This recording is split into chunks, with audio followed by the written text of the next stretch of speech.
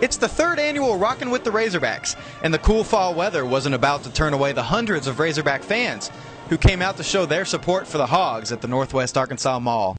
The Razorback faithful, both young and old, came out Friday night to enjoy the sounds of the Razorback band, meet new head basketball coach Mike Anderson, get autographs from their favorite Razorback athletes, and enjoy free food and beverages with fellow members of Razorback Nation.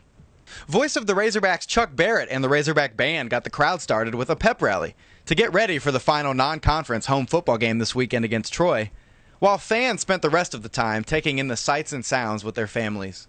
Uh, we come out here every year for the Rocking with the Razorbacks, bring the kids out and uh, take pictures with the, the Razorbacks and listen to the band. It's just a family fun event. It is very awesome. Um, I just wanted my kids to experience what I experienced as a young hog fan. We started this three years ago. We were very excited.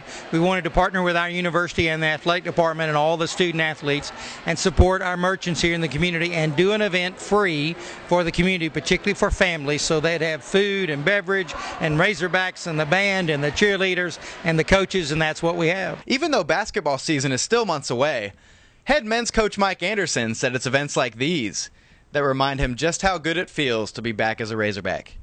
Oh, it's great. I mean, they, they got louder. The more I talk, the louder they got. And that's the atmosphere I want in Bud Walton Arena.